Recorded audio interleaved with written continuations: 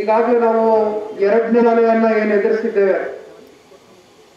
ಅದರಲ್ಲಿ ಯುವಕರು ಹೆಚ್ಚಿನ ಸಂಖ್ಯೆಯಲ್ಲಿ ಪ್ರಾಣ ಕಲ್ತ್ಕೊಂಡಿರ್ತಕ್ಕಂಥದ್ದನ್ನ ನಾವೇನು ಗಮನಿಸಿದ್ದೇವೆ. ಈಗಲೂ ನಾನು ಹೇಳ್ತಕ್ಕಂಥದ್ದು ಇಷ್ಟೇ, ದಯವಿಟ್ಟು ಈ ಒಂದು ವೇದಿಕೆಯಲ್ಲೂ ತಾವೆಲ್ಲ ಗಮನಿಸ್ತಾ ಇದ್ದೀರಿ.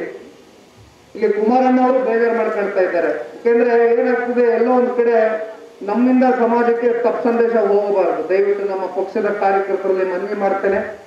ಇನ್ನು ಕೊರೋನಾ ಅಂತಕ್ಕಂಥದ್ದನ್ನ ನಾವಿನ್ನೂ ತಡೆಗಟ್ಟಿಲ್ಲ. ನಮ್ಮಿಂದ ಯಾರಿಗೂ ಕೂಡ ತೊಂದರೆ ಆಗಬಾರ್ದು. ದಯವಿಟ್ಟು ತಾವೆಲ್ಲ ಒಂದು ಅಂತರ ಕಾಪಾಡಿಕೊಳ್ಳಿ. ದಯವಿಟ್ಟು ಇನ್ನ ತಮ್ಮ ಒಂದು ಆರೋಗ್ಯನ ಉಳಿಸ್ಕೊಳ್ಳಿ. ದಯವಿಟ್ಟು ಪ್ಲೀಸ್. ಕೈ ಜೋಡಿಸಿ ಮನವಿ ಮಾಡ್ತೇನೆ. ವಿಶೇಷವಾಗಿ ಇವತ್ತು ಆಶಾ ಕಾರ್ಯಕರ್ತರುಗಳು, ಅಂಗನವಾಡಿ ಕಾರ್ಯಕರ್ತರುಗಳು ತಾವೆಲ್ಲ ತಮ್ಮ ಪ್ರಾಣವನ್ನು ಒತ್ತೆ ಇಟ್ಟು ಇವತ್ತು ಇಡೀ ಕ್ಷೇತ್ರದ ಜನತೆಯ ಪರವಾಗಿ ಲಕ್ಷಾಂತರ ಜನತೆಯ ಒಂದು ಪ್ರಾಣ ಕಾಪಾಡ್ತಕ್ಕಂಥ ಒಂದು ಕೆಲಸವನ್ನು ಏನ್ ಮಾಡಿದ್ದೀರಿ? ಬಹುಶಃ ಮೂರನೇ ಅಲೆ ಬರ್ತಕ್ಕಂಥ ಸಾಧ್ಯತೆಗಳಿದೆ ಅಂತ ಈಗಾಗಲೇ ತಜ್ಞರು ವರದಿ ಕೊಟ್ಟಿರ್ತಕ್ಕಂಥದ್ದು ಯಾವಾಗ ಬರುತ್ತೆ ಏನೋ ನಮ್ಗೆ ಗೊತ್ತಿಲ್ಲ.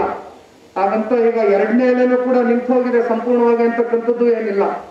ದಯವಿಟ್ಟು ತಮ್ಮ ಒಂದು ಶ್ರಮ ಏನಿದೆ, ನಿಜಕ್ಕೂ ಕೂಡ ಸಮಾಜದ ಏರಿಗೋಸ್ಕರ ತಮ್ಮ ದುಡಿಮೆ ಏನಿದೆ. ನಾವು ಸದಾ ನಿಮ್ಮ ಒಂದು ಈ ದುಡಿಮೆಗೆ ನಾವು ಜೊತೆಯಲ್ಲಿ ನಿಲ್ತೀವಿ ಅಂತಕ್ಕಂಥ ಒಂದು ವಿಷಯವನ್ನ ಹೇಳಲಿಕ್ಕೆ ಇಷ್ಟಪಡ್ತೇನೆ ಒಂದು ಸಂದರ್ಭದಲ್ಲಿ. ಇನ್ನ ಹೆಚ್ಚು ಭಾಷಣ ಮಾಡ್ತಕ್ಕಂಥ ಒಂದು ವೇದಿಕೆ ಅಲ್ಲ.